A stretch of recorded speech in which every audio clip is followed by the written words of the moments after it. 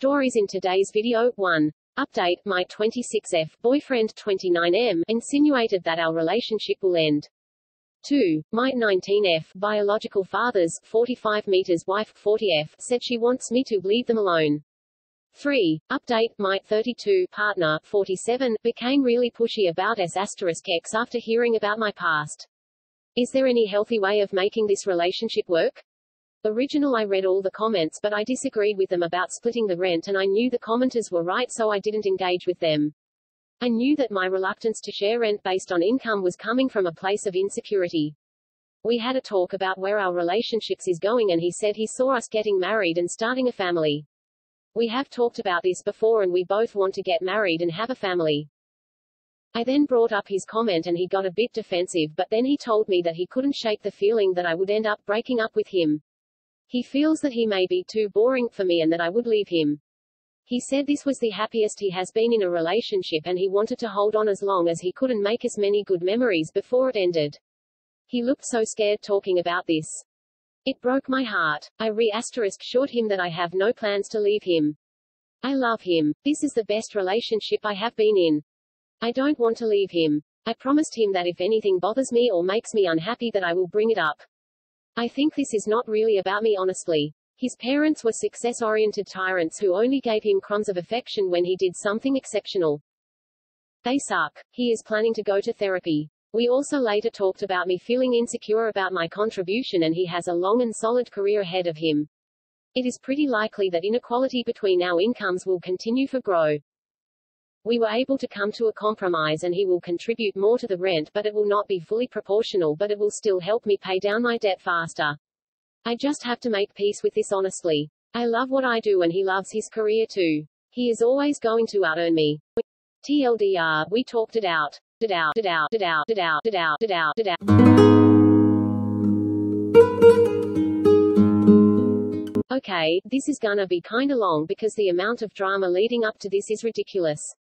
Usually I'd just summarize, but the context is important. I'm gonna change names and specific locations cause I don't want to get tracked down and found out and stuff.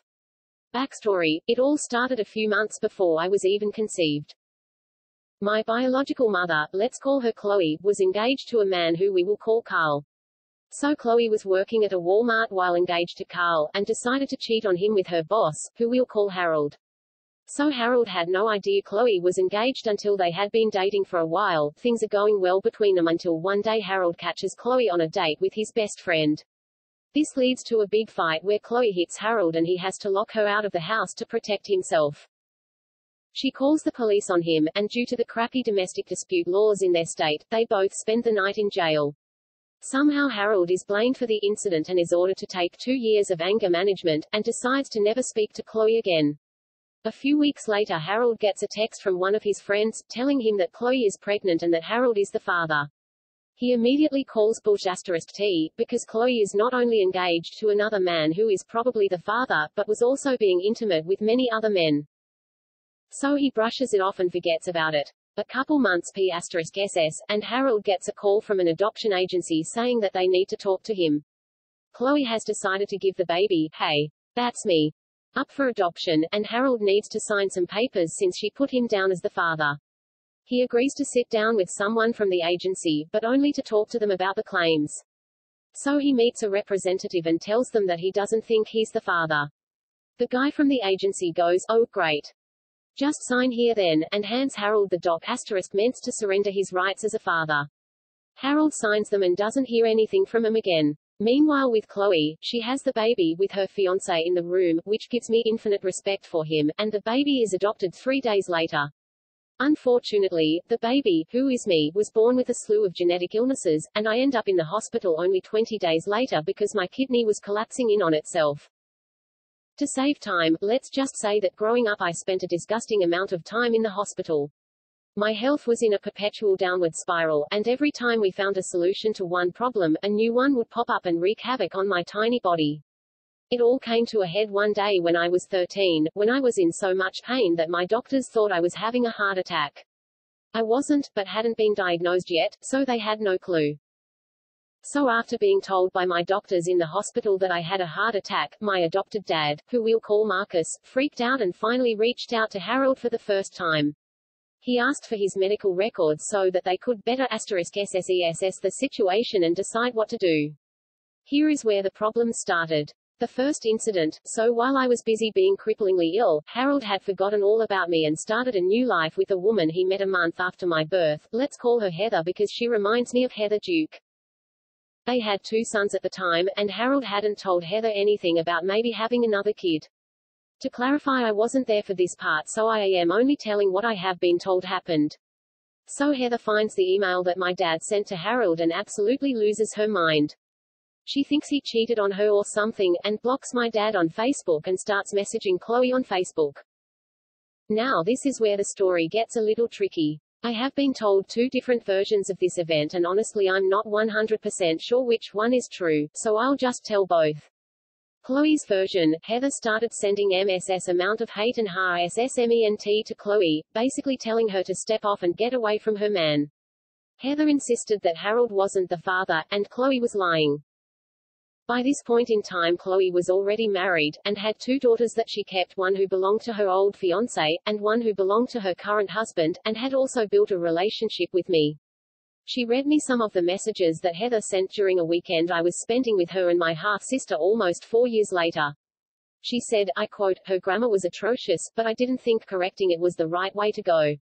Heather's version, Heather reached out to Chloe to talk to her about the situation and what she wanted them to do. Chloe snapped at her and said there was no way that my parents would put me through a paternity test. Because Chloe said that, they decided not to pursue the test. After these communications all contact was lost and my dad lost Harold's cell phone number. The whole interaction ended with no paternity test, and no medical records. Recent events, okay now that that's out of the way, here is what has happened in the last month. So my health has progressively gotten worse and, and I now have to apply for disability if I want to pay for my ungodly amount of medications. The lawyer I hired said that having a full family medical history might be helpful. So I asked my super smart friend to track Harold down so I could contact him.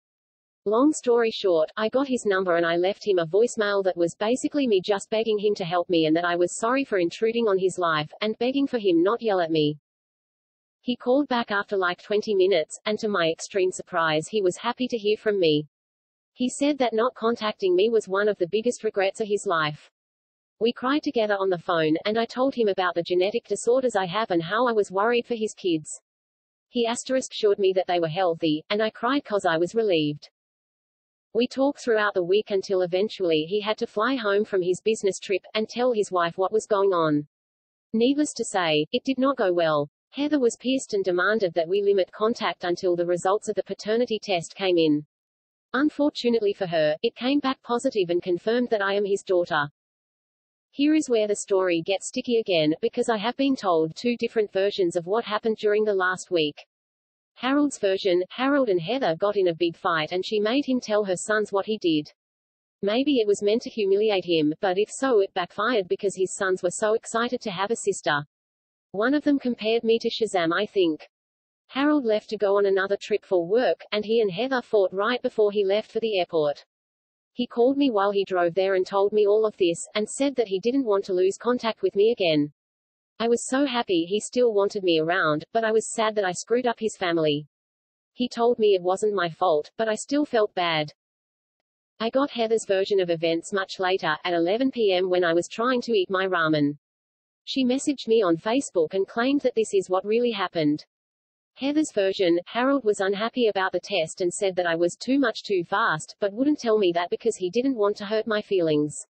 They told their sons and they weren't happy about it either. She told me that Harold hardly has time for his kids, and I was forcing your way in. Now I am a very sensitive person and have a habit of breaking down over the smallest things because of other stuff that's happened in my past, but that's not relevant right now, which is why I'm very proud of how I handled this. I texted Harold and told him that his wife had contacted me, and within seconds he had called me and asked me to read what she had said. I read it to him and also read the apology I sent to her. He apologized on her behalf and asked if I was okay because I sounded like I was crying, which I was, but I didn't want him to feel bad so I just told him I was fine and I was just tired. I asked him what I should do and he told me to just be myself. So I apologized to her again and again while she snapped at me and eventually she stopped and I got to go to bed. Things were quiet after that, and I tried not to message them because I didn't want to get yelled at again.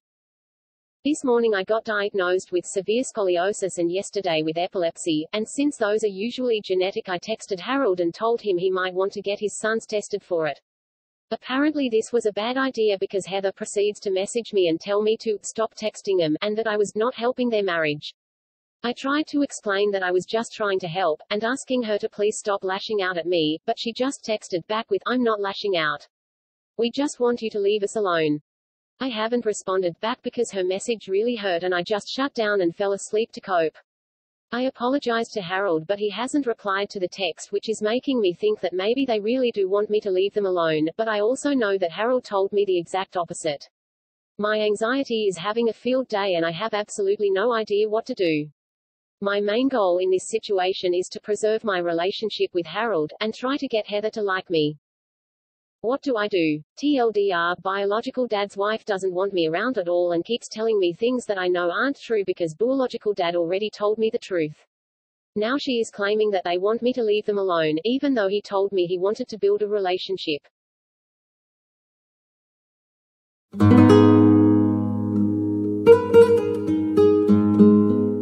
Original post TLDR, my 32M partner, 47M, became very pushy S asterisk Zuli after hearing about some sketchy past experiences I had. He said this was because he realized he had 8K asterisk NK, and he continued being pushy even though I told him I was uncomfortable. Update, I broke up with him. Thank you so much to the people who responded. I was really messed up about the whole thing and I was M asterisk S second guessing myself, so the advice really helped a lot. I thought I would post an update in case anyone has any advice on how to deal with the aftermath. I'm a bit of a mess. I broke up with N last night. It went okay, I guess. Like he didn't get angry or confrontational and he did seem to listen to what I was saying. It was hard though. He was really upset and apologetic and said a lot of stuff I would have loved to have heard in the past few months of the relationship. It would have been so easy to believe him, but the fact is he wasn't bothered at all until I said I wanted to leave. He is saying he'll respect my decision, but has sent a fair few texts since talking about how much he hates himself, things he wishes he did differently, using a lot of pet names. I told him I needed some space but if he doesn't listen I might need to block him. I'm a bit of a wreck and my mental health feels like it's taken am asterisk SSIVE backslide over the past few months. I've lost a lot of weight. I've been drinking more. I'm jumpy as hell. I'm having horrible nightmares every night. I'm trying very hard to avoid dealing with this breakup in a destructive way, but it's difficult because I have a lot of SH asterisk TTY feelings that I have no idea what to do with. So any advice about healthy ways of dealing with a breakup would be helpful.